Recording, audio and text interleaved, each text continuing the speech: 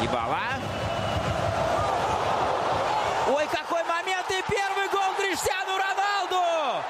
Первый гол Криштиану Роналду. И вот он случился в матче против Сосуоло. Какой же комичный эпизод. Радуется, естественно, Джорджина Родригес. Ну а мы все внимание все же не к ней, хотя она того стоит, нашего внимания. Но сейчас все внимание на футбол. Это уже сын Криштиану Роналду младший.